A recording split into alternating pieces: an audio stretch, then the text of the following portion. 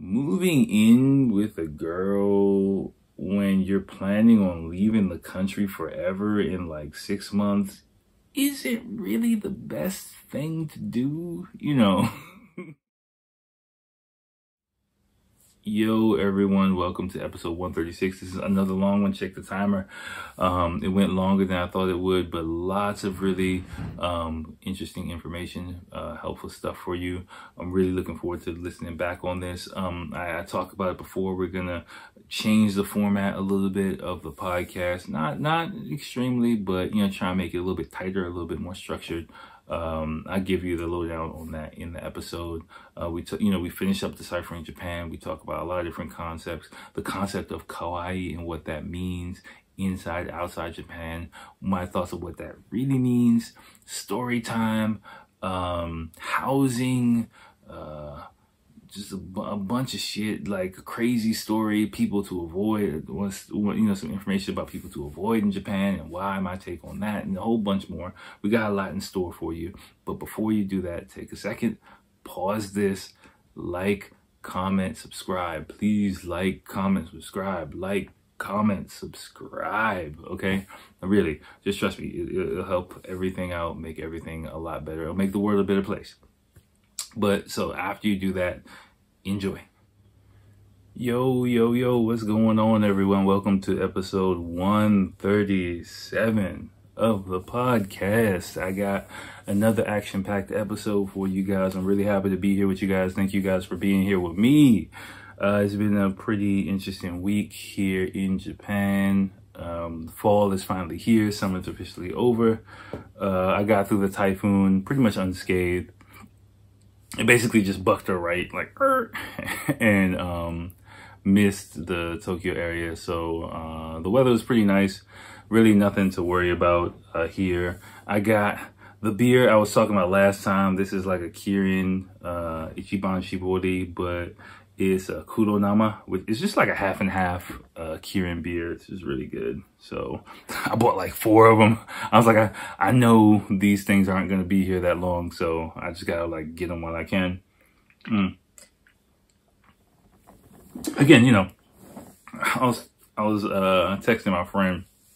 I was like, seriously, like literally like 90% of the beer I drink in my everyday or alcohol in general of the alcohol I drink in my everyday life, I drink on this fucking podcast. Like, don't get the wrong idea. Like, I mean, when I go out, like I went out the other day, which is which is pretty nice, uh, with, with the family and everything. But in my everyday life, like literally, like almost all of the fucking alcohol I drink is on this show, which isn't really that much when you think about it. So, don't think I'm like woo booze cruising it up like every goddamn night, which I'm really not. Um, but for these motherfuckers, like, yeah, I'm going to drink quite a few of these. So, um, so, so, so that's pretty much what's going on with, with alcohol thing. I just get all self-conscious about it. I'm like, these motherfuckers gonna think I'm an alky, but, um, you know, whatever. I, am not like slamming these motherfuckers down. So, you know, I'm sure you know. All right. Mm. Mm. Oh, sorry. Fuck, that's good. Okay. Um, I told you in the last episode, like I was, I'm really enamored with this beer. I got a lot of things for you for you guys, but but before I want to I want to talk a little shop. You probably know I'm, I'm, i have been debating doing it for a while, um, but I'm gonna do it. I think I'm gonna do it. Uh, I did. Um, I'm gonna. Well, you're probably watching. If you're watching on YouTube, you already know, but I'm going to change the intro. Um, no, no more the little 2D animated thing. Uh, you, you can, if you notice, I've been kind of phasing that out with my thumbnails and everything and, and get going more official podcast kind of shit on you guys. So, um, I'm probably going to change the intro, uh, and just to the yellow board, make that my universal Japan according to Akil thing across the board. So, um, that's, that's one thing. Uh, another thing I wanted to bring up. Oh yeah, oh yeah. Um, people on YouTube, you probably will also notice that um, I'm I'm I'm really trying to format these episodes where uh, you know, it's kind of clippable. I can kind of cut shit out, and so you know, you you you will notice if you're subscribed that there um, are gonna be, you know, some more and more increasingly clips from the episodes popping up during the week. So if it, I, I forgot, I had to go back and label some of the episodes. I forgot to do it before, but um, from now on, I'll just be a little bit more conscious of if it's a full episode, letting you know that it's a full episode. And then if it's a clip, it'll just be labeled, you know, whatever the topic is, just to make it a little bit easier for you guys. Uh, instead you think like, oh, Akil's got some new shit. And then you're disappointed because it's just some shit you already seen or heard before. I know I kind of don't like it when that happens. So I'm going to try and be a little bit more um, aware of that for the 28 of you guys. but I appreciate all 28 of you guys. And, you know, the two of you guys, I, I we're, we're, moving on up, you know. Uh, we got a couple of people uh, regularly commenting and thank you guys. I definitely appreciate it. Several likes popping off. Like I'm seeing it. I'm seeing it. Um, I'm really, really appreciate it. Uh, again, like, I'm, you know, now we're in the, the I guess the, the podcast gold rush era, if you will, but I'm, you know, I'm, I'm not getting caught up in that shit. You know, I'm just really doing this because I love it. Uh, I like talking about Japan. You know, I like talking about things. I'm not going to like three, four days a week because I really don't think there is that much. I mean, there's a lot of stuff to talk about in Japan, but for me personally, like the way I do things, there isn't you know, there isn't enough content for me to be talking like three, four days a week about like going all the, I'll burn myself way the fuck out. So, um, I'm, I'm, I'm not gonna do that. Uh, but, uh, you know, I, I enjoy this podcast. I enjoy the format, you know, but I am trying to improve it in the constraints of, of my everyday life and what I'm doing. And so make it you know, uh, semi-professional, if you were decent, if you will. And, and, you know, if you guys have been with me, um, from the start, if you've gone back and, and listened to the backlog, you, you know how this thing has developed over time. And I was thinking about it before I started recording that, you know, this is, feels kind of like the start line of the official podcasts you know, activities by me, if you will. And it took me like a hundred and something episodes to kind of 120 something episodes to get here. But you know, just figuring out my thumbnails and figuring out my labels and figuring out my intros. I just did a did an outro for this episode. Just stick around to the end. You'll see. Well, it's not really anything special, but but but you know, um, those kind of standard kind of things. Looking at other podcasts and realizing, oh shit, I need to do that too. Oh shit, I need to do that too. And just picking up stuff as I go along. So um, yeah, yeah. So the intro is different. Uh, you know, the end of the video is gonna be different.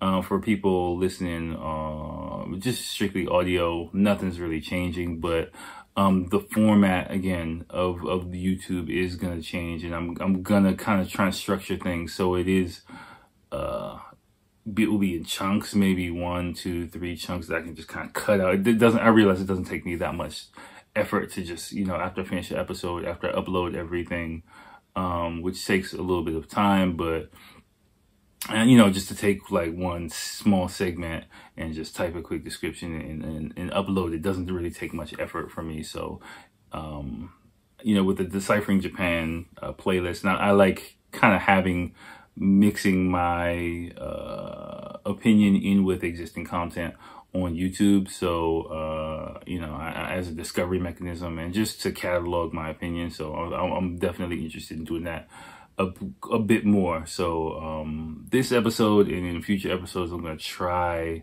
to structure things. you know, me structure things. Yeah, okay. As I drink my beer, right? Um, mm, keep it right here.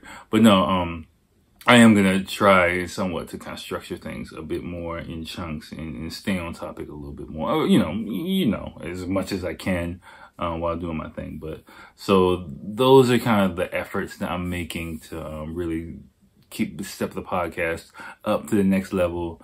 Um, and yeah, hopefully it'll pay off. Hopefully it can, you know, attract more eyes, get more people involved. Um, you know, spread some my take on Japan and you know more of a community of people, uh, more topics coming in uh, you know, would, would be nice and, and, and, you know, like we can kind of get vibes going and, hopefully do some more fun things. we'll see, you know. But if it's just us rocking, let's keep this party going, you know. So, so that's pretty much it. Um, Rod, what you sent me, um, the core thing, I just realized I didn't, uh, I forgot to do research to go through that in detail. So, uh, I'm not, I'm not, I'm gonna hold off and push that to the next episode, just letting you know. Uh, same thing with the uh, faxes and thing. Um, yeah, I'm aware of the issue. I, I message you, but um, again, you can email me questions for akil at gmail.com whenever you want. Um, you know, I'll get it. I'll talk to you. It's all good. But yeah, that um, that topic, just you know, I sent you a reply to that. Um, oh yeah, another thing. Um, you know, Rod and Josh too. Uh, I Joshua, I should say, but um, like uh I just to let you guys know and anyone in the future as well. Like uh, I sometimes feel bad about the timing of my reply to your emails.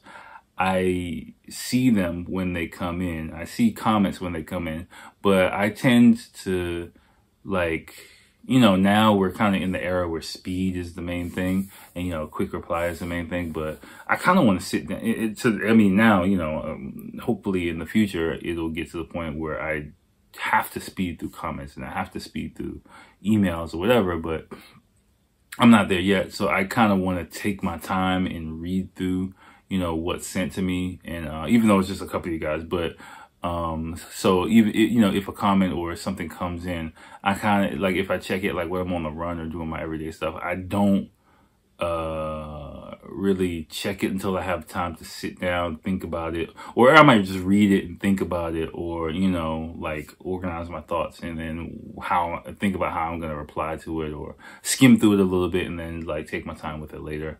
Um, so it does take me sometimes some time to reply, but it's not because I'm brushing it off. It's just because like for the most of the time, like I'm picking, I'm trying to pick the best time for me to sit down and write a reply, you know, if, if that makes any sense. So, um, I'm, I'm guessing you guys, you know, will understand that, but I just wanted to put it out there in the atmosphere for you guys and for anyone else, you know, who um, takes the time to reply for me in, in the future.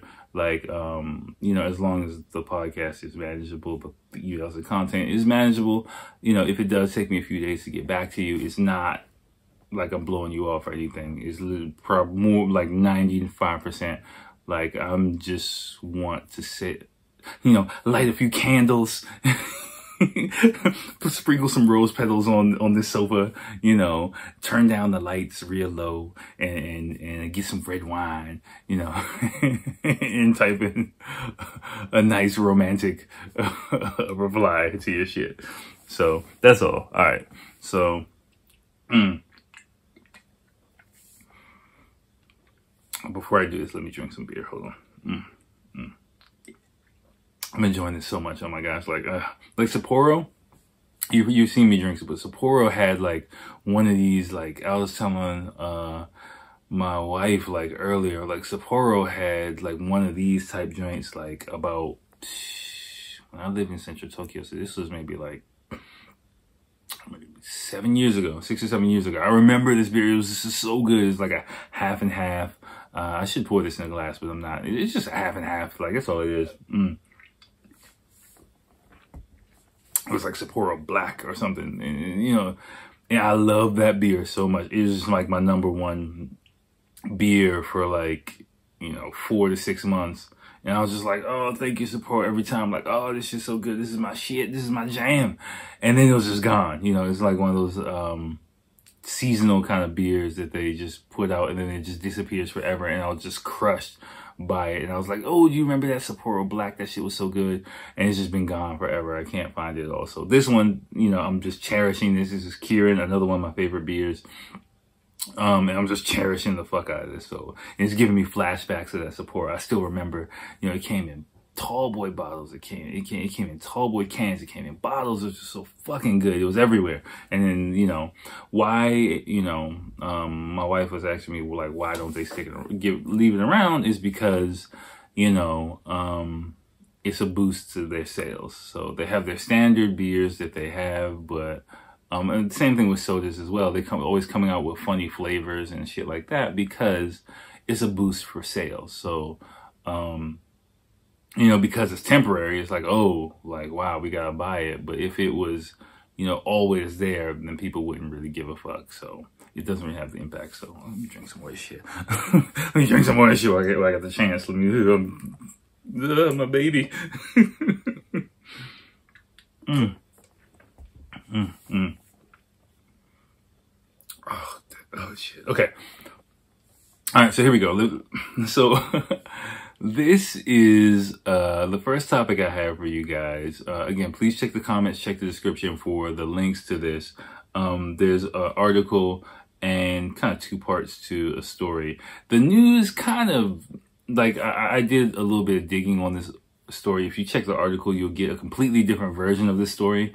So I don't really know what is the truth right now, but um, but there, so there are kind of two different versions of this, right? So one it's about a rapper. The story is about a rapper, a Japanese rapper who sold everything he had and moved to uh, America, flew to America so that he can meet his favorite group, Bone Thugs-n-Harmony. And if you know about Bone Thugs-n-Harmony, they're from East 99 is where you find. Okay. you know, late 90s, it was all about bone, bone, bone, bone, bone, bone, bone. See you at the crossroads. Okay, anyway, anyway.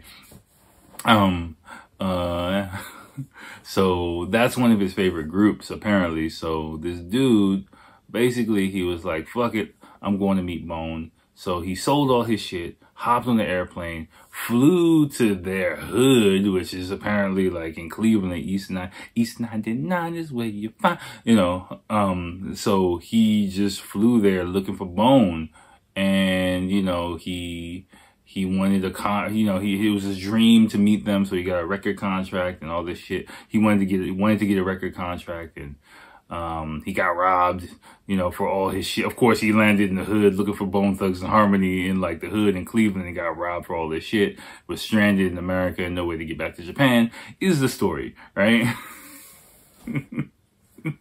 hilarious. Now, I mean, not hilarious that he got robbed, but just like, you know, I mean, I have heard of this type of behavior from people in the hip hop industry in Japan um, another YouTube channel. Actually, I, maybe I talked about this dude before, but actually I was talking to my wife about him a while ago. I just randomly found him. I think it's the name of their YouTube channel. I think is Brooklyn Meets Japan. Um, maybe Brooklyn Meets Japan. Uh, just check the comments. Let me let me just make myself a quick note.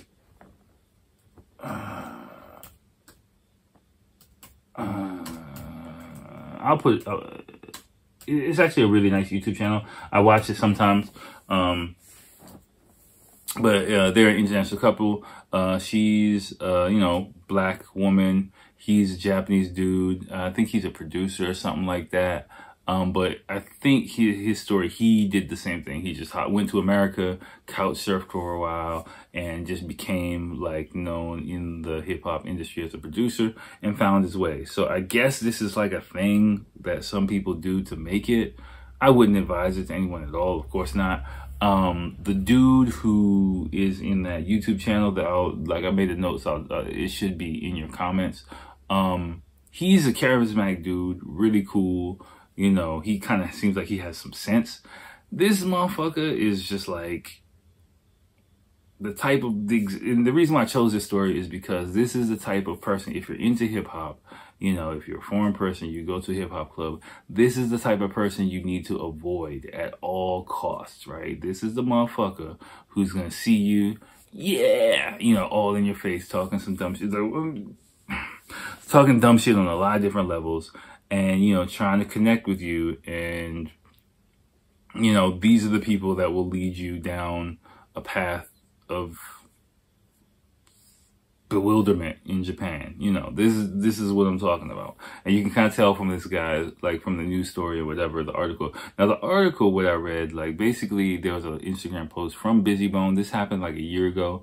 It sounds like, you know, the news kind of make it I think a bit more dramatic that, you know, his dream was to be a rapper, but the way the Instagram post from Bizzy Bone sounds like, it was like he partied with Bone Thugs, performed in Japan, they partied with some dude, they were like, "Yo, come to America." He was like, "Cool." He probably couldn't speak English, you know, and he they were just like, "Yo, where you from?" You know, we're from blah blah blah blah blah. Come check us out. No doubt, you know, maybe connected somehow, and then he was just like, "Fuck it, I'm going. These are my friends." And they just partied with the dude one night. And he showed up, so they you know, he probably just popped up on their doorstep and they were like, oh shit, what the fuck are you doing here? He couldn't really communicate. They got him a hotel room for a few weeks and then he's just like, I'm not going back to Japan. I'm staying here. I'm going to die in this bitch. And, you know, like immigration is like, like, you know, it's just like, for me, this story, you know, one, the type of person who's into hip hop that, you know, you want to avoid. Two, um, a situation where the Japanese kind of never give up spirit, you know, gambare ba dekiru. Like, you know, if you try your hardest, you can do it. You can overcome anything. That's kind of part of the, the Japanese mentality here. And I've, you heard me say it kind of backfires, you know, sometimes this is one of those instances where you just don't know when to give up. And this guy just doesn't know when to give up. And he's not smart enough to really realize that, you know, because he thinks like if he's got the passion, he's got the heart, you know, that he can just do it and he can live his dream and, you know, he's going to. What the fuck you want me to tell you? Like, like, dude, come on now. Like, you know, so, um, yeah, yeah, yeah. You know, it sounds good when you're talking with your crew, like in somewhere in Japan, but to actually like make that type of shit happen, it takes a little bit more up here. And the dude in the other YouTube channel, he was able to do that, you know, and that's why I really have mad respect for that guy. You can just see the way he carries himself. He's, he's really Japanese. Like, you know, he's not like, you know, emulating what he thinks hip hop or American culture is. Like he's, you know, like that the dude in the other YouTube channel with the family, like that's the type of dude that I click click with in Japan. Not I mean he has tattoos and all this shit, like not the external stuff, but just the way he carries himself.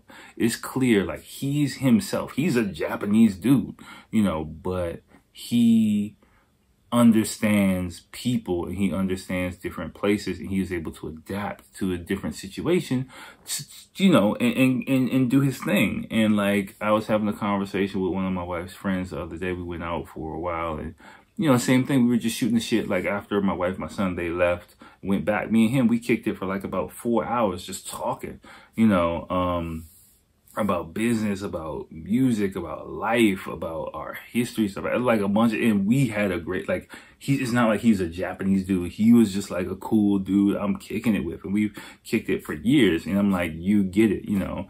Uh, he's the same thing. That dude, he spent time in New York, worked for, for, you know, a clothing company and everything like that. And he gets it, you know. And so it's not like, we're just two people talking. Like, you know, it doesn't feel like anything special. If you look at this kind of like Bone Thugs-n-Harmony dude, you can feel like he's like, yeah, you know, it's like,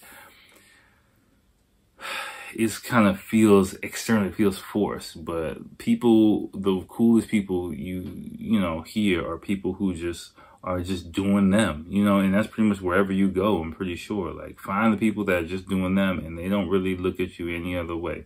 So, so that, I mean, it's an interesting story. It's a crazy story, but I think it gives some insight into uh, Japan, you know, the type, and I think a lot of contrast between those two different um, pieces of content. So I got to laugh at the story, you know.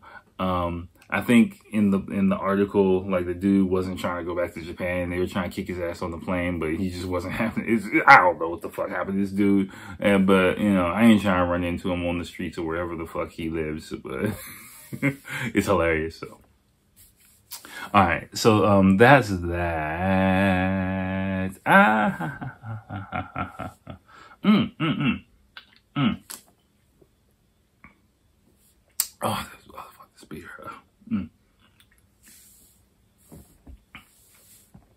Okay. I, want to. okay, okay, I got some shit for you guys. Um, actually, a lot of this episode can get broken up into pieces now that I think about it. Uh, uh, okay, hold on, hold on, one second, one second. Let me let me cut this piece. Uh, ha, ha, ha, ha, ha. ha. Uh, ha, ha, ha, ha. Okay. Okay, let's get into real estate, right? And houses. I mean, because um, I don't know why I randomly got this idea, but um, one one of the Japanese shows that I really like is a show called Before After, and um, you know, it, it, just got me thinking. It just randomly popped into my head. I was on, on the train, and um, yeah, so I was like, let me see if there are some episodes of this thing online. And there are, and there are, which is in, which are which is in your um, description wherever you're watching this or listening to it. So uh, I just found a, a, playlist of some episodes of this show. Pretty much, it's like a, a home improvement uh, TV show, um, and okay, okay. Um, make sure everything's all closed up. I get all paranoid, like whatever. Anyway, um, um, what, what, what, what I say? Oh yeah, yeah. So this show, so this show, uh, before after is pretty much a home improvement show, and um, what happens is like a family who lives in like an old house or fucked up house or whatever, mm, pretty much it's just like an old fucked up house that they live in, and you know they hire uh, an architect to renovate their home and um, they the show films it, and then you know at the end they do the whole before the shit looked like this, now the shit looks like this. It's fucking amazing, you know. Um, it's literally before after, like that's what the whole show is about. Um, the whole thing is in Japanese, um, but uh, I used to watch it even when, when like my Japanese listening wasn't that good. It's a pretty straightforward show. Like it's all in Japanese, but it, it's really elegant Japanese as well. So um, if you're like intermediate, like upper intermediate Japanese speaker or have listening skill, like let's say if you Japanese um, N2, for example, uh, you you should be able to follow the show. I would say N3, you know, uh, N3 Japanese, it might be a little bit tough. You might be able to pick up some of it. If you don't know, there are five levels in uh, the Japanese language proficiency test is what I'm talking about. So if you're like, what the fuck is N2, then you probably won't understand anything that's going on on this show. But um, there are five levels for the Japanese proficiency test and five, four, three, two, and one. One is like you're just the shit. You, you might have heard me talk about it before. Like N2 is kind of what you need to really get a job interview to work for a Japanese company for the most part. Um, I passed N2 because I'm a shit. No, I passed N2. I took N1 one time, uh, and I was just like, okay, fuck this. I'm, I'm done with this. So, uh, in the future, I'd like to get N1, but it, you know, when I, now I'm focused on business and getting this cash, keeping these dreams alive, getting this cash. So after I do all that, then I'd like to go back and get N1 just to do it. But um, right now, it's just not a priority. Um, but anyway, so yeah, but this this show, even if you don't have, if you're interested in Japan but you have zero Japanese ability, it's going to be an interesting show for you and I recommend you watch it just because you can see, you know, construction, Japanese construction. You can see the layout of Japanese homes. You can see what a modern home looks like. You can see what an old home looks like. And it kind of, I think that's what it was because it kind of ties into the previous episode of Deciphering Japan, where, um, episode three, I believe it was, of just Deciphering Japan, where they talked about, um, you know, ghost towns and, and uh, the efforts to get people, move people into uh, older homes. I think that might have sparked that idea in my in my mind. So um, yeah, just go ahead check out the playlist if if you want to you know see what like different types of Japanese homes are like. You know, you can even watch it on mute if if if the Japanese is a distraction for you. You can just play some music in the background and just watch the shit. You know, um, it's it's just interesting to watch, right? Um, I, I'm mesmerized by the show. The the narrator's voice is, is, is like totally like mesmerizes the fuck out of me and puts me to sleep half the time. I should just watch it and like take a nap on my days off. But like, um, it's just such a soothing ass show, right? Um, but um but yeah also you know i i have a bit more modern youtube uh video which is which walks you through a typical middle class home in japan i forgot the name of the youtuber i'm not gonna look. okay let me pay this guy his respect and, and actually find out his name um he does a lot of content i put some in my flip book uh his name is it this is uh, Life Where I'm From is the name of the channel or the video. Yeah, it's a pretty in-depth look at, um, is this a Danchi. Ah, that's what this is. Sorry, sorry. I misspoke.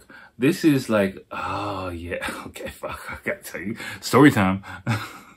okay, let, let me finish this. So then I'll tell you a story. So um yeah, I think I believe this is uh um uh, um uh, uh look inside a Japanese danchi. Uh, yeah, yeah, yeah. Inside, this is a look inside a Japanese danchi, and um, you know the layout of them and things like that. Okay, so check that out if you want. If you, or the the number one thing I recommend is before after um, to really know a little bit more about you know Japanese housing and housing construction layout and things like that. Mm. The um, Japan's housing for the middle class video, that's the title of it, is in English, of course. The other one is strictly in Japanese. So definitely enjoy that. Now it's story time. Okay. I never told you. Okay, let me get a beer. you know, you already know. Let me finish this and get another beer. So just hold on. Okay, we are back, right? We are back. So, okay, so here we go. We're back. Mm. All right, so in the past, you've heard me talk about the story of where I decided to come to Japan, decided to stay in Japan um, you know, I talked to my dad and he said, just go follow your heart and all that shit. And, you know, I decided to stay here. That's the clean version of it, right? Hopefully my wife doesn't get mad at me for telling this story, but you know, yeah, she, she will, she won't because, you know, I was kind of like an immature asshole. Um, pretty much. Okay. So this is like 2006. I remember it well. So I was like 24. Um, and you know, it, I, at this point, I was in a full-on relationship with my wife. Um, you know, we were serious. I would definitely say I was in love. You know, we were dating for two years at this time, a year, a year and a half, almost two years. I was, I was definitely much in love with my wife at this point. You know, who I would say was my first serious relationship. Um, my first serious adult relationship, especially for that long. Hmm um sorry, I had something in my teeth. like, I mean, you know, I'm not saying I was a player, player, but um, you know, I I think there's a lot of young a lot of young men. I had definitely had a fear of commitment for a lot of different reasons when you know growing up as a teen and um as in my early twenties. Um but just meeting my wife, especially being here and, you know, just over the course of just getting to know her and, and stuff like that, I allowed myself, I think, to open up.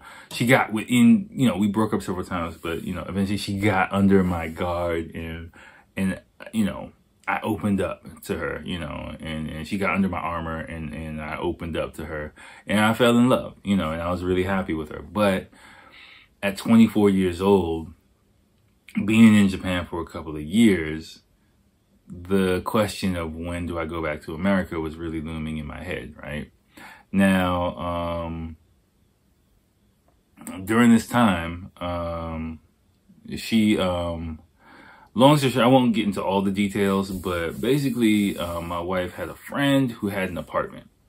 Now, an apartment in a danchi, which was a really cheap danchi, right? It was really cheap a really cheap place to live in. Um, again, I won't give all the details just because, you know, but anyway, so her friend uh, was moving to another country and uh, for uh, some time and basically was like, you know, um, can, you know, I, I want to keep this place because it's a really, really, really affordable place. So, you know, if you guys would live in it, basically it was like if we live in it, we move there um, and pay the rent, you know, it's a win-win-win for everyone. So um, I was like, all right, cool. I was living in a guest house at the time. I'd been living in that guest house for a bit over a year, you know. Um, I was like, cool. I was kind of like, you know, go with the flow kind of mid twenties guy. You, you, can imagine, right? Like, yeah, let's do it. Like, it's all good, babe. I love you. Uh, I can't remember if I was telling my wife I loved her at that point. Probably, probably, probably. Yeah. Mm-hmm. Mm. so, um, we decide, you know, I decided to move out of my guest house and move into this, uh, danchi. It was a fucking danchi, like, you'll probably see in the thing. It's like an old school apartment complex. Um, you know, not that well lit, not that big. The bathroom was, I mean, not the toilet room. The toilet room was, you know, the, the shower was concrete and like you had to like squeeze through the kitchen to get in and take a shower. It was dark. Like it, it was just, the layout was completely fucked up, basically, you know. And I think that's how a lot of danchis were at that time. Like it wasn't really optimized for like everyday living. It's like you got a kitchen, you got a fucking shower, you got a toilet, you got a door, you got a bedroom, and that was it, you know. So um um so before um I'm moving in, like I remember like yeah, because I moved in around spring, like around April or May and I forgot what my wife and I were checking in like a um, internet cafe, but I remember it was it was cherry blossom seed. Just to let you know, um, yeah, yeah, yeah. Okay, I remember what the fuck. I was on some shit. She she she doesn't let me forget this at all either because like I had decided already that I was gonna go back to America. I just put an arbitrary deadline. I was like, I'm going back to America in October. When I think when my visa's up, I'm I'm just going, right? Like that was my thing. So this was like April. I was like, fuck it, I'm going. So um I told my wife, I told her like, look, we're dating. I love you. Yeah, I think I did. I love you, but I gotta go back to America. So, you know, normally how that thing is like, we'll stay in touch. We'll figure it out. We'll be okay. You know, I love you, kind of thing. It's kind of normally what happens. Of course, the guy has the best intentions of, of keeping it going, but in reality, come on now, you know how it's gonna work itself out, right? So, so I was like, all right, you know, uh, we were in an internet cafe or something like that, getting looking at stuff for the. And I was just such an immature asshole because like I just remember sitting there next to my wife. She was checking, I think, moving places or something like that in the internet cafe. Okay, this is before smartphones, of course. And like, um, the internet kid had an arcade, right? And I was just kind of like, they have Virtua Cop downstairs. Like they had Time Cop. We walked past like the game room and they had like Time Cop down there, and I was just like, oh, it was like free, and I was just like, oh shit. You know, I just had to sit next to my wife, basically. I had to sit next to her while she checks shit on in Japanese, and I'm just like sitting there useless, and I'm like I just want to go downstairs and play video games right now. I was just trying to find a way that I could just, because it was like it took her a long time. She was checking shit. I was just like trying to find the smoothest way where I could just be like, yeah, you just do all this. I'm going to go downstairs and play video games, right? Like, it's cool. But needless, needless to say, I didn't, I, I didn't touch that fucking Time Cop game at all, which mm, one of the regrets in my life, right? Mm. So, so I just, I don't really remember what we were talking about, but I remember she, her working hard, trying to figure some shit out. And I remember after a while, I was like, look, man, just like whatever, we'll just, you know, we'll figure it out. Like, let's just call it quits for today and go sit under the cherry blossoms. you know, go, go sit under the cherry blossom trees. It was cherry blossom season. I was like, you know, and she's like, what? What the fuck are you talking about? I'm like, look, this is my last cherry blossom season in Japan. I'm trying to enjoy it with you. So come on, let's just get out of here, go do something fun and chill, and not spend all of our time trying to figure out this moving bullshit. Yeah, that was that was my philosophy at that time, you know, because I'm in fantasy land. It's Japan. I'm having fun. Woo, I'm enjoying my life, you know. So needless to say, that with that frame of mind, like, um. the day, um, you know, um, I, I, I leave my, my, my guest house. Like, I think some of my shit was moved. I, I don't know what the logistics of what happened, but I just remember I had a big ass suitcase with the shit and I put it on a commuter train and I rode that bitch like across Tokyo because I lived in northern Tokyo and this was like in I think in like western Tokyo, you know, southwestern Tokyo. So I had to ride ride a commuter train with a big ass suitcase, like an hour and a half across Tokyo, you know, full of shit, which was not fun. So I finally get to the place and I'm like, you know, I get there, I got the key, I unlock it, and I'm like, where's my wife? You know, oh, she's my girl. Where's my girl? Where's she at? You know, so I call her. I'm like, yo, where you at? And she starts crying her eyes out to me. And she's just like, I can't do this. Like, I can't do this. No, I can't, you know, and so she breaks up with me, basically. basically, you know, it didn't really dawn on me at the time that, you know, moving in with a girl when you're planning on leaving the country forever in like six months is it really the best thing to do, you know. That's not really the best strategy at all. So, but again, like this is what I'm telling you guys. Like I had my Western thinking, like, hey, we're young, it's not that serious.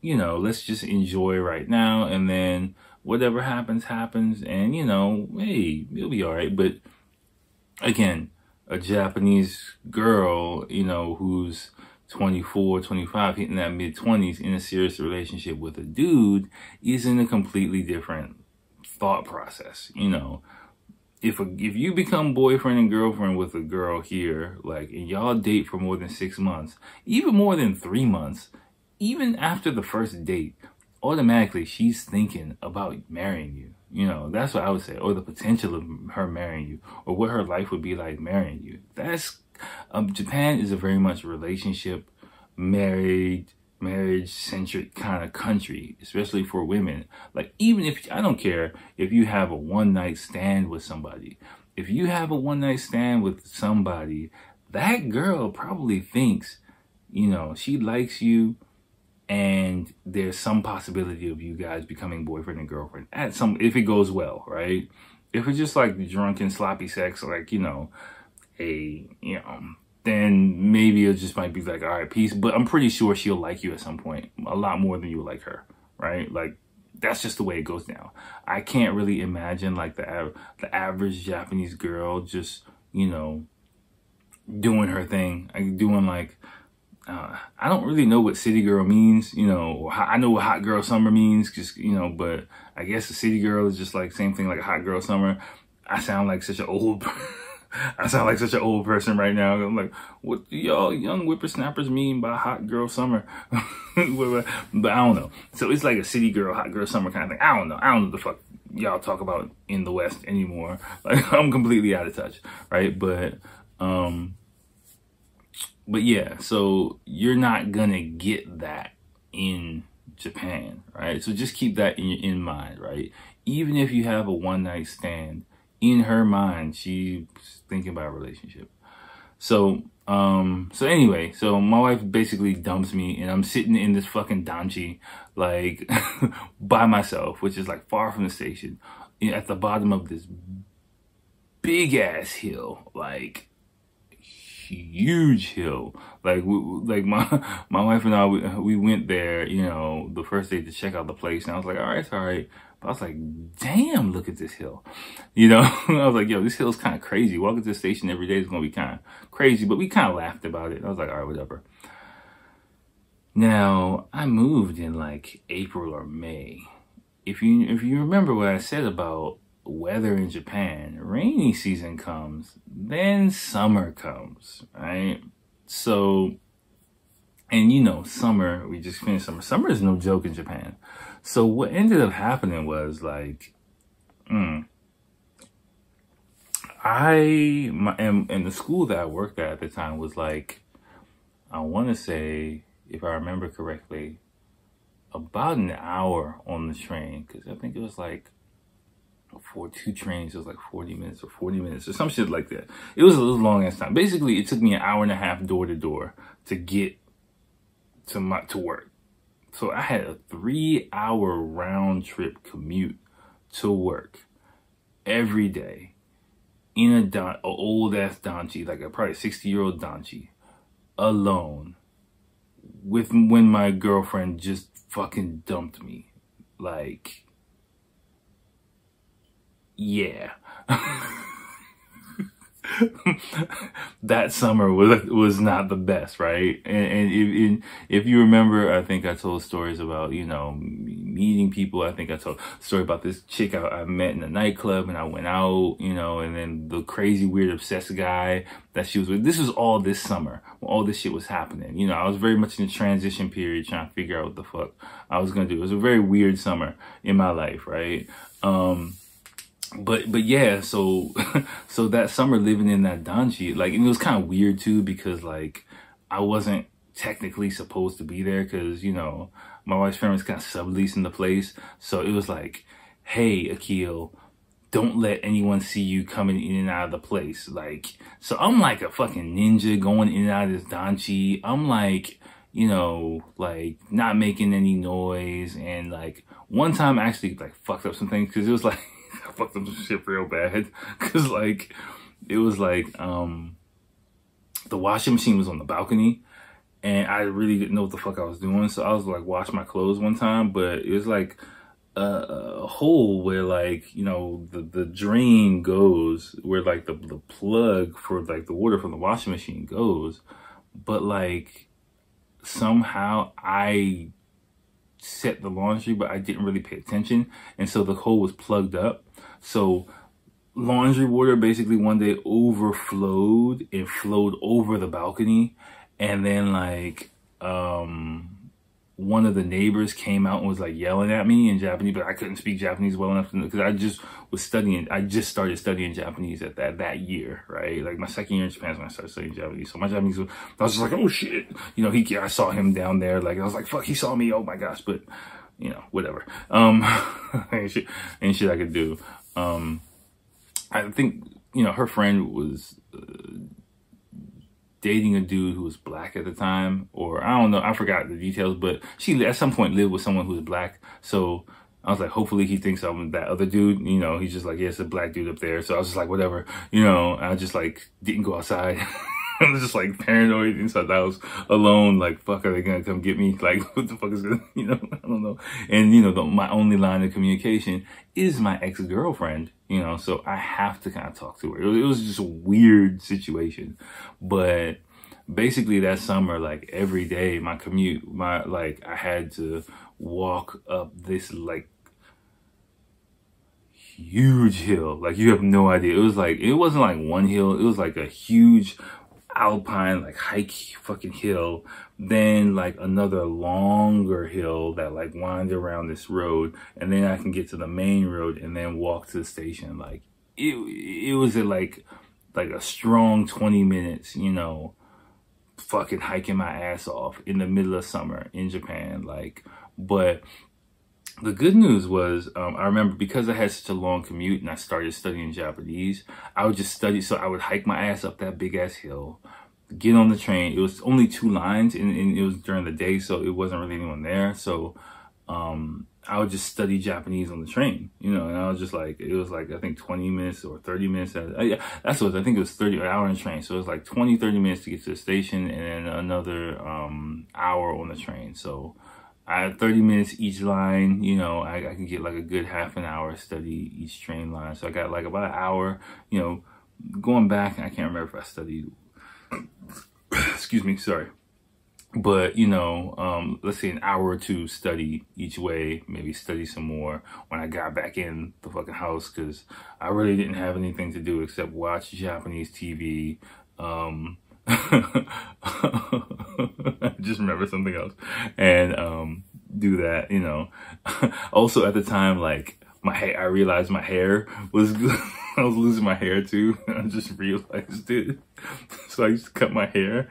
So like one time, um, I cut my hair and that was the first time it looked, it didn't look right. And I was like, oh shit, I'm going bald. Like, oh fuck. So it's like, I got no girl. I got no place.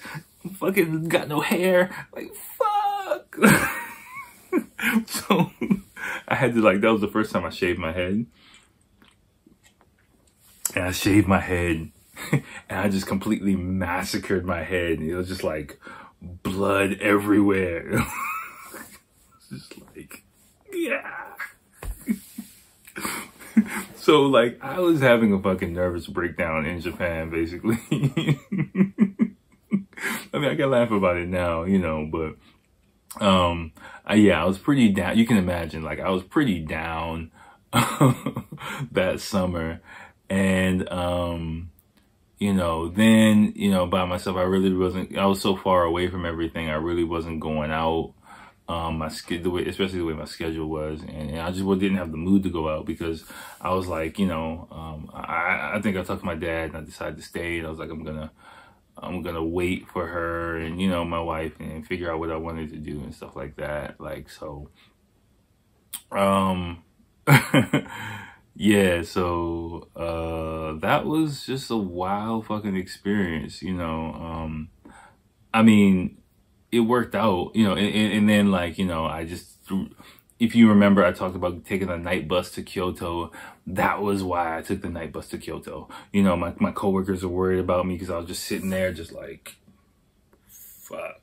you know, normally happy, fun loving Akil is just like, between lessons, just sitting there staring off into space, not saying shit for like a couple weeks. And it's just like, is he all right? You know, you know, because I'm just in my thoughts, like, you know, and so, and then one day I'm just like, I'm going to Kyoto, like, you know, and but I do shit like that. I'm just like, I to to if I'm you know once I go down, I'm ready to reset. I just gotta like do something to thrust myself into reset everything. So I think that trip to Kyoto was my time to really wake up and be like, okay, I'm through feeling crappy for myself. And then I started slowly going out and I started meeting people again and, you know, um, slowly dating again and stuff like that. But, you know, then my, my wife caught me, you know, she came back looking all good. I think she took a trip somewhere too. And then she came back looking all good, smelling all good.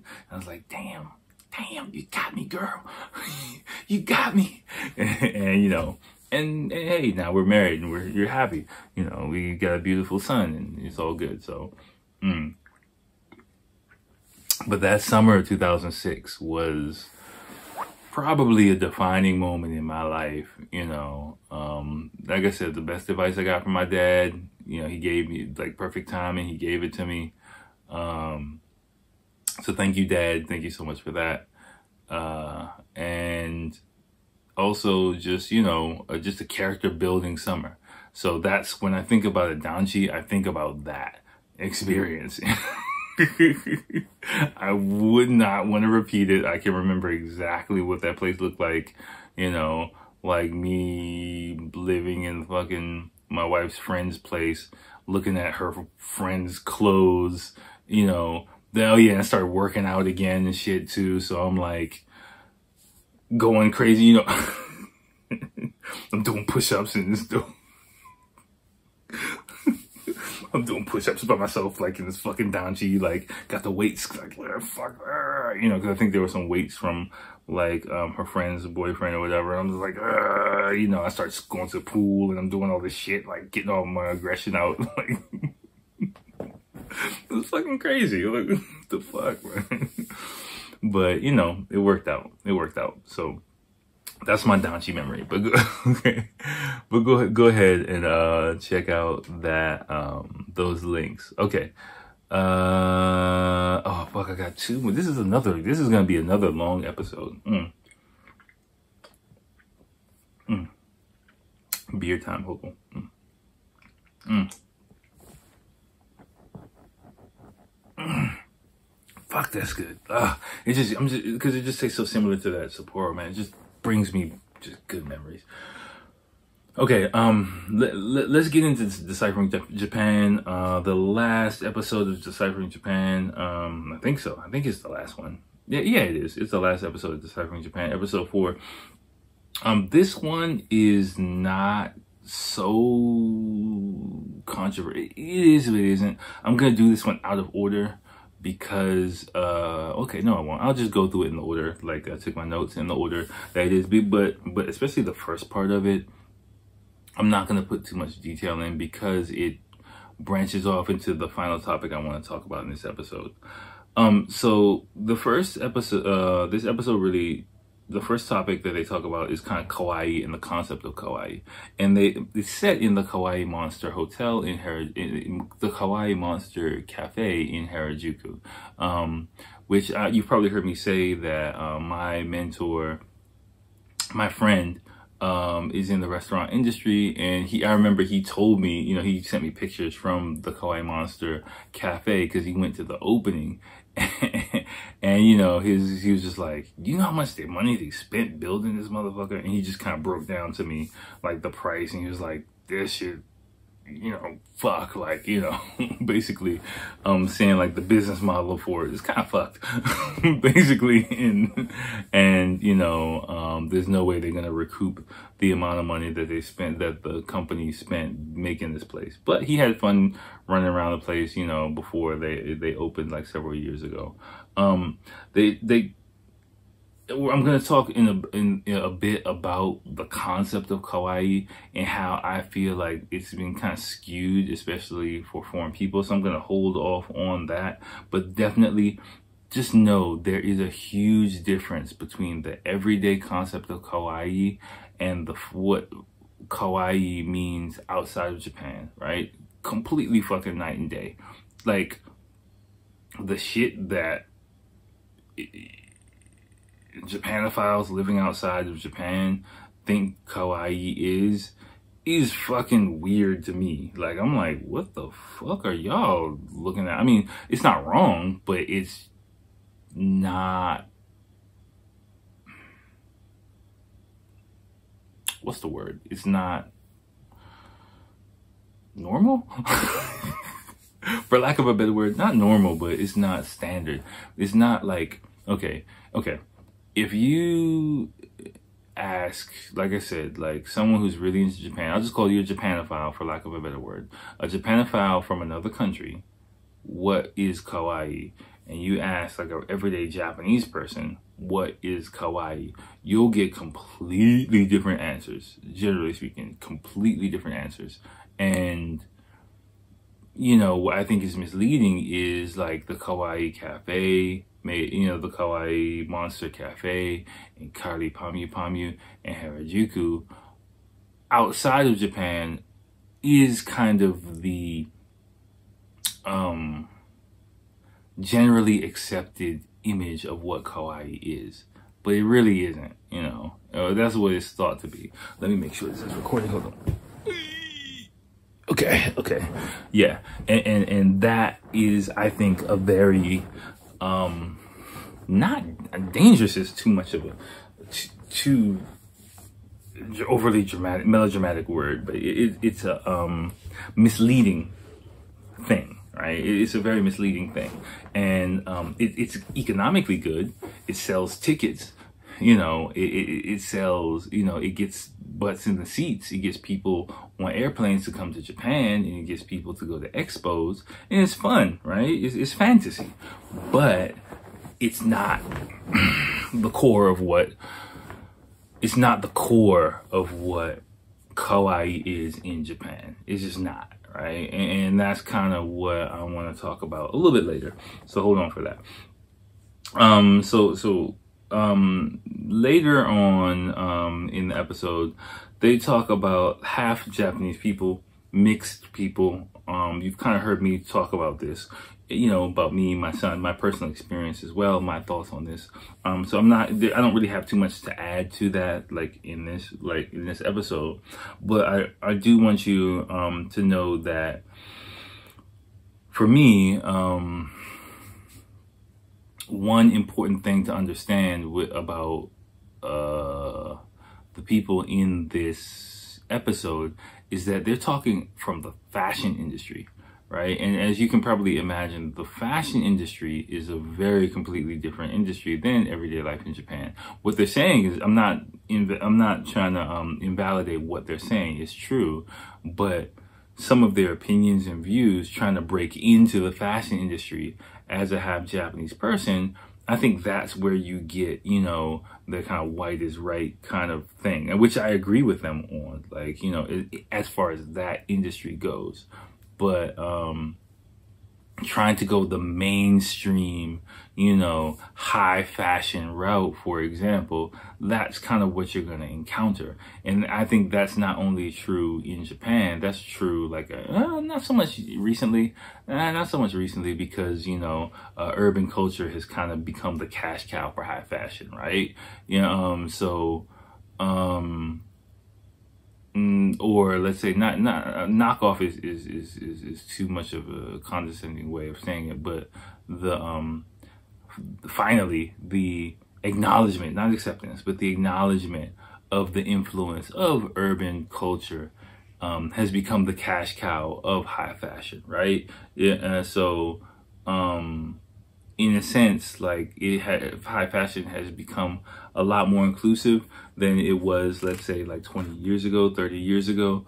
But um, but there is still that kind of hierarchy, if you will. I'm sure even if you're not into fashion, you can feel it and you know it exists. So the same thing, even more intensified, is true in Japan because again, things that are uh, established trends outside of Japan are even more intensified when they come into Japan, right? Um, so just take that with a grain of salt. I don't really have too much else to add to that.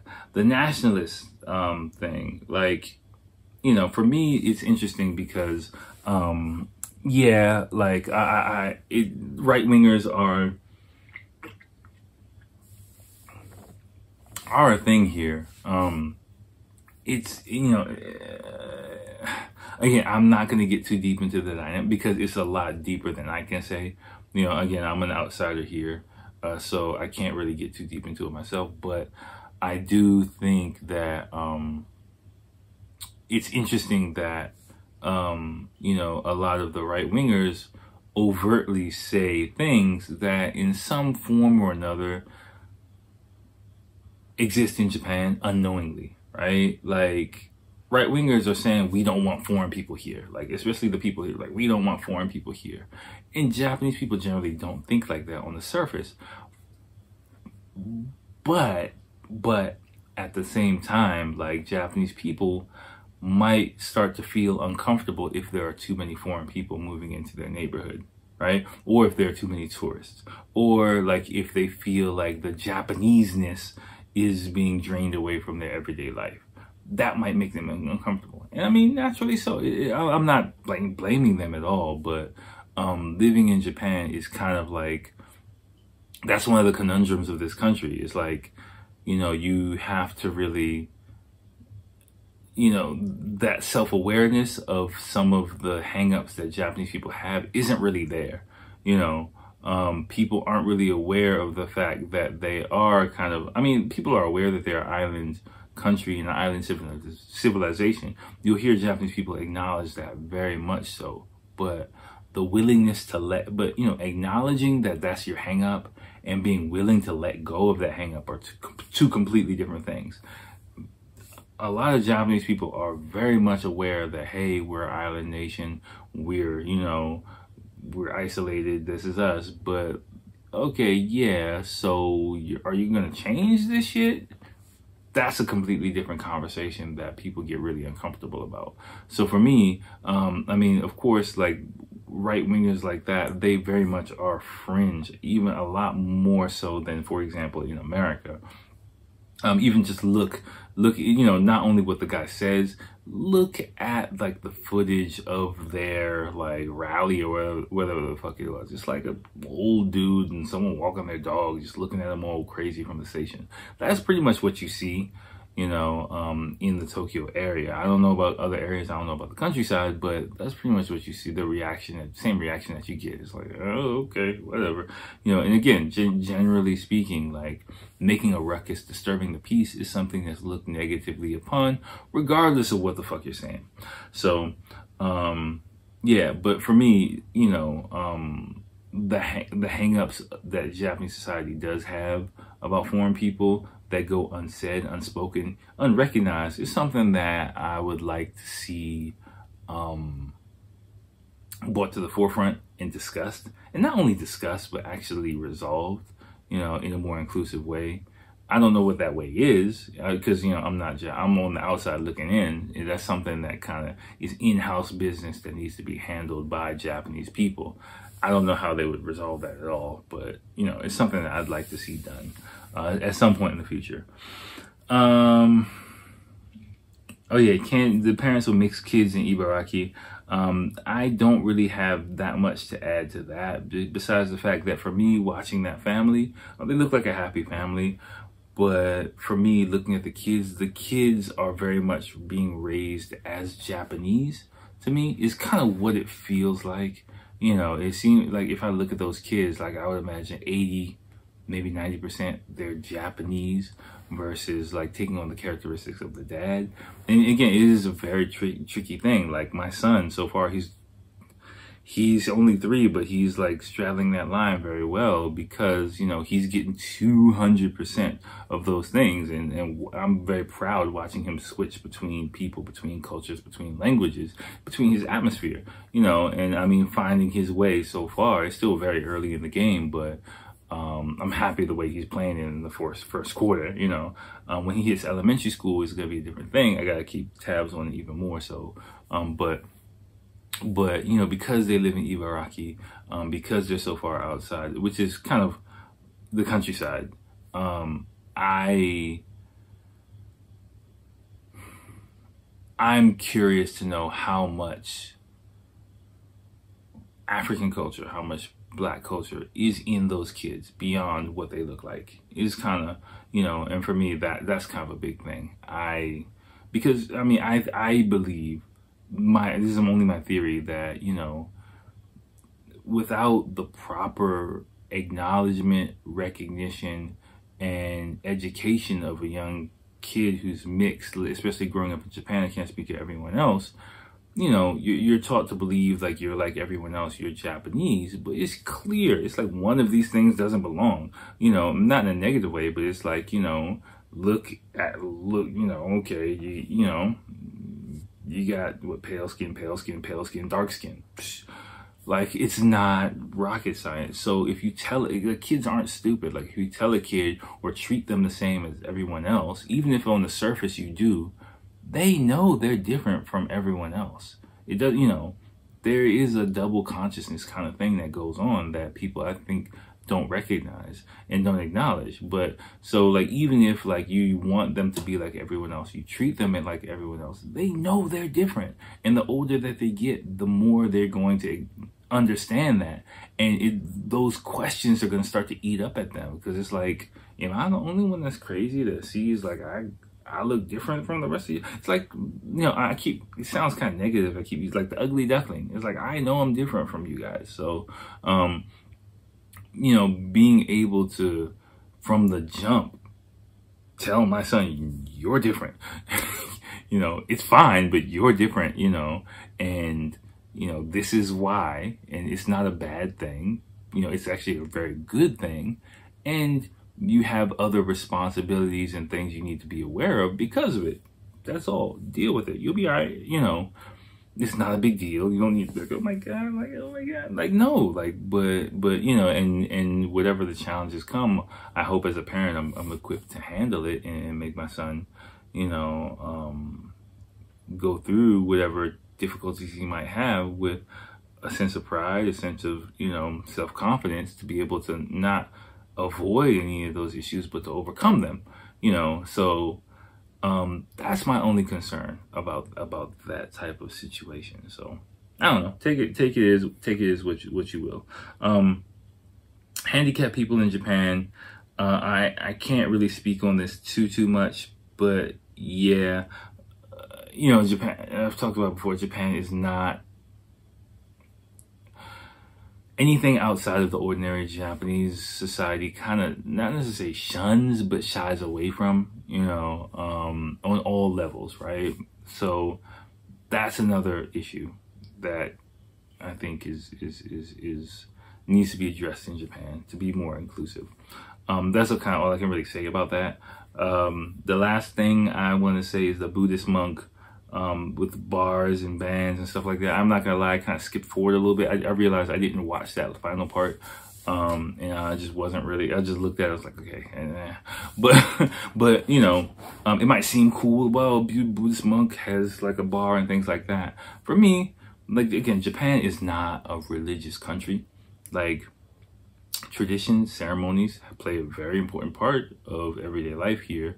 But Japanese people aren't, surprisingly, aren't generally that religious. Like, there are Christians here, there are other, a lot of other religions, but on average, your average person is not going to be religious at all. I've heard lots of people even challenge the fact whether there is a God, might be atheist. Not necessarily like they have a hardline stance against God, but just like people are so focused on their everyday life here. Anything beyond that kind of gets pushed to the periphery, or even like, eh, I don't even really think that eh, it doesn't matter, or I can't really see that happening you know, faith in the unknown isn't really something that's a that's a strong motivator in the everyday lives of Japanese people. It just isn't. You know, so even though, you know, you have people who might um what's the word? Might do do on be involved highly with a lot of religious ceremonies, it doesn't really have a spiritual meaning to, I would say, the majority of people partic- actively participating in them.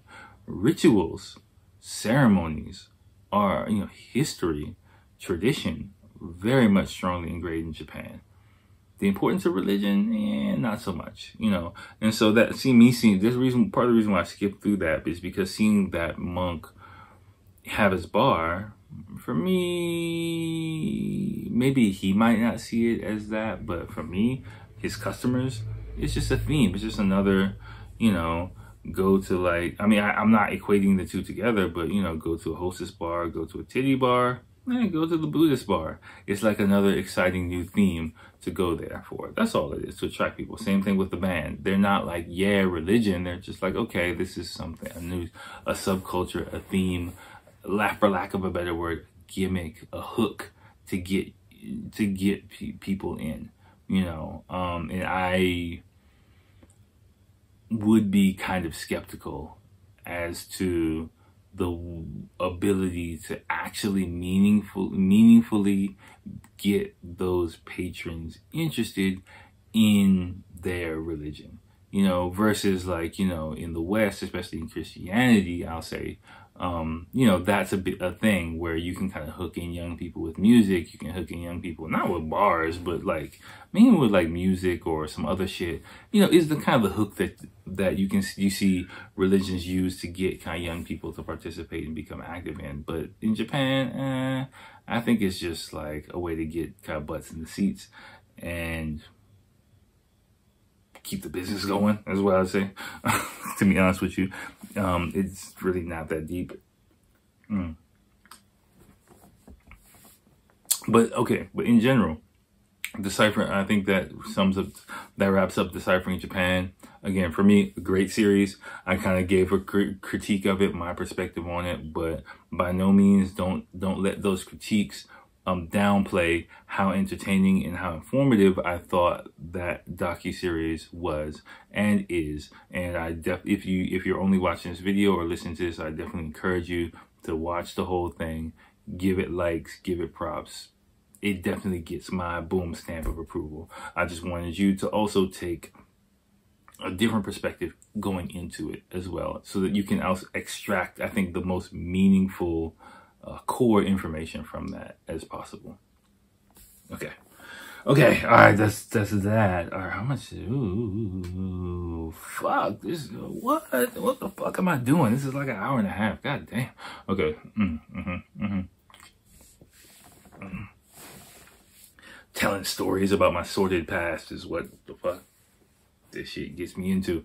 All right, we're well over an hour. Um, I got one more thing to do again, another um, topic which which which will probably become uh, a broken off clip, which I, which I alluded to before. Um, I'm not gonna try, I'm gonna try and make this quick, but kawaii, right? Kawaii, kawaii, kawaii. Okay, okay. So um, first off, first off, before that, um, I found just you know the the last episode um, talking about. Hold on one second.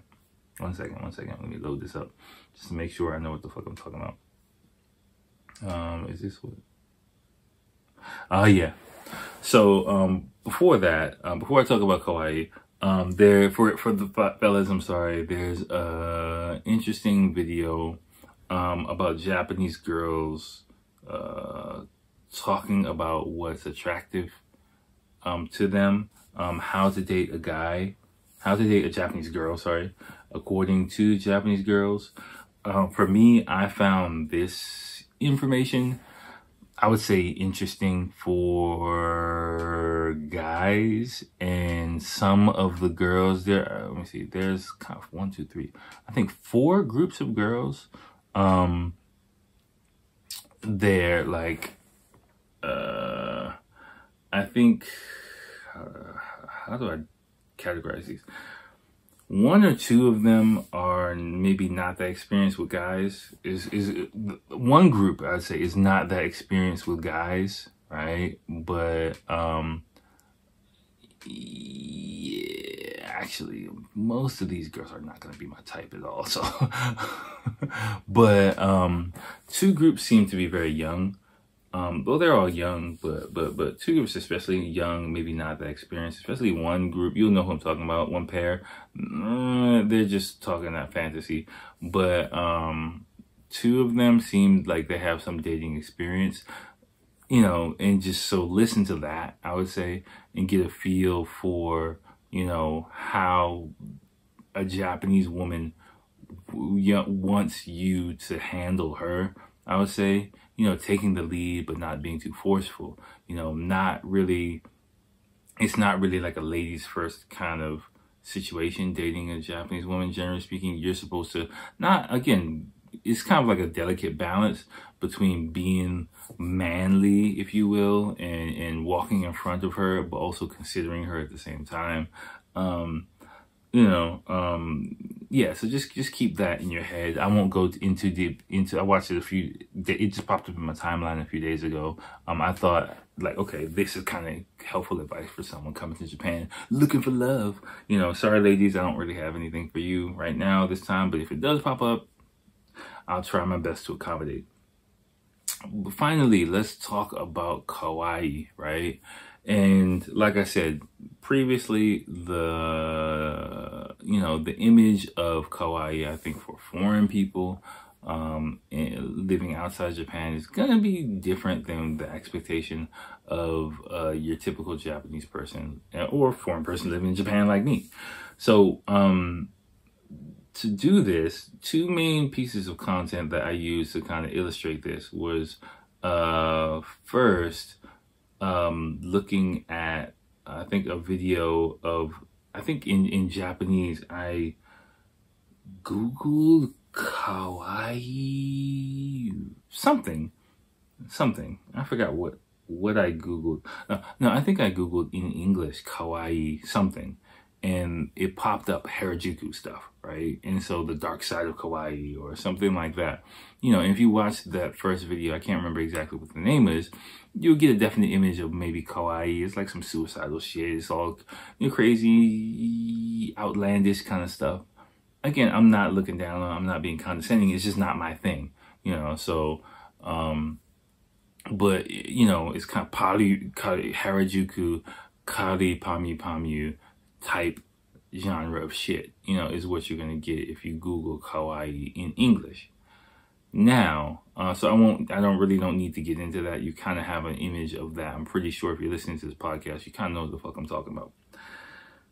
On the other hand, I Googled in Japanese kawaii ranking, right? And an interesting article for me, which I'd like for you to look through is, um, uh, it turned it was a ranking of the I think top ten or top twenty uh kawaii actresses. I think it is. Sorry, ladies. Again, it's, it's strictly women, but I think for the most part, women use the term kawaii a lot more than men. So it is more like female centered kind of word. Um, and so you'll I'm sure it pretty much if you see if you if you do if you are a Japanophile um, and you know, or you know, in deep into anime or deep whatever, if you look at the ranking for these actresses, I'm pretty sure you'll think, you see, it kind of doesn't really 100% match with your image of what kawaii might be, right? Um, it's just cute. It's just a cute Japanese girl. You know, that's what it is. And and generally speaking, like of course there's a wide variety of things that are kawaii. You know, there are there's fashion, there's like characters and things like that. But how you'll hear kawaii used in everyday life here in Japan is not in that context, right? Like you might hear little kids use something like that, but as a grown motherfucker, you're not gonna use it that way. And that's the main thing I want to really stress to you. You know, um, 90% of the time you'll hear it used in an adult way if you're an adult. And that's gonna be in the context of like, you know, dresses and fashion and, and, and looks and makeup and stuff like hairstyles and stuff like that like around the vein that these type of people that you see. So i want you to just keep that image with you right? It's not harajuku you know that's not kawaii for most i mean it, i'll just say it, that's not kawaii for the average japanese person the what is kawaii for the average japanese person is you know, shit related to the images you see um, in that video. Now, it is in Japanese, my apologies for it, but I just wanted to give you a visual representation, an illustration of that contrast, you know, what, and from my side, people living outside Japan think kawaii is versus what the average person inside Japan thinks it is. And that's what it is, right? it's their culture. So I'm going with the home team. Sorry. Okay. okay.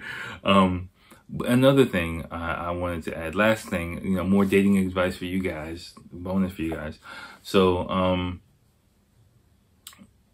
using the word kawaii, right? I'm sure, you, you know, be careful in your intonation. Like, you hear kawaii, things like, I don't really say that if you're a guy. Okay, don't say that to a girl if you're a guy. Generally speaking, I was thinking about it today, like how, if I were single, like how I would use the word. My advice would be, don't really use the word kawaii to a woman over 27 27, maybe even 26 to be safe. I know it might sound really specific age, but I'm using it for a reason. Um, 26 and over don't don't don't really use the word kawaii because that's like a full grown woman at that point in time. Uh, generally speaking, um, I would use kirei, you know, kirei kind of. Um, if you do use kawaii for like a woman, you can you can use kawaii, but not to the person, not like you're a kawaii person. I would use kawaii like to give compliment of some feature.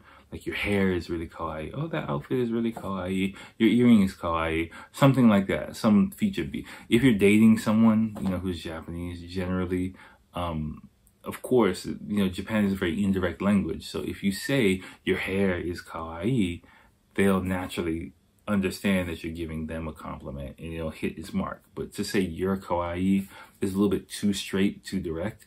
And also, a mature woman might not want to be called kawaii.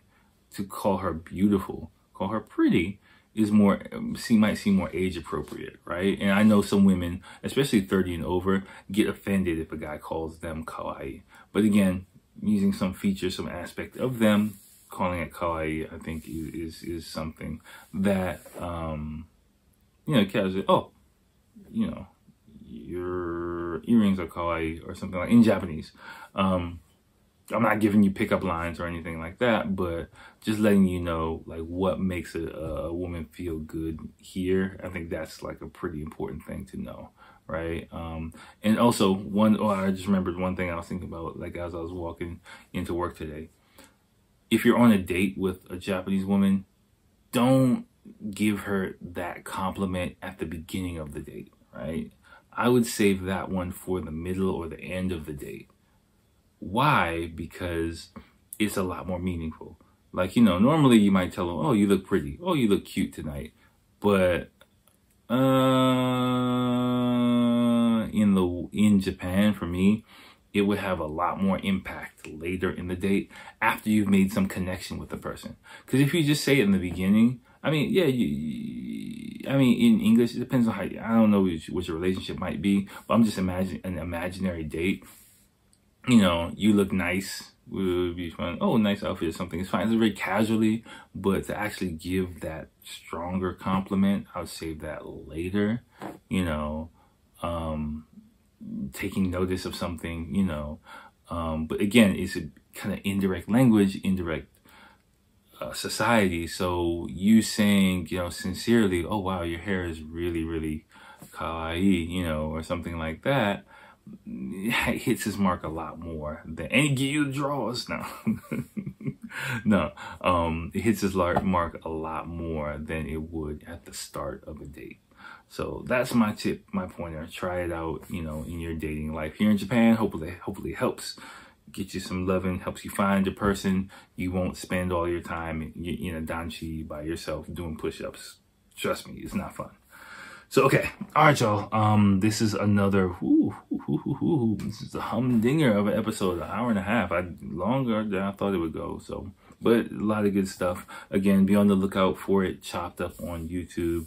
Um, I'll try and label it properly, you know, if you don't want to repeat the, all of the content. But if, you know, please don't just click on it. okay. watch it if you're going to watch it again. Um, and I'm, I'm going to try and make some, you know, library kind of playlists, uh, related to this shit. I'm going to do something. So, so, all right, y'all. Let me get up out of here. I've been talking long enough. Let me finish this beer and get my ass to bed. Holla at you next time. Peace.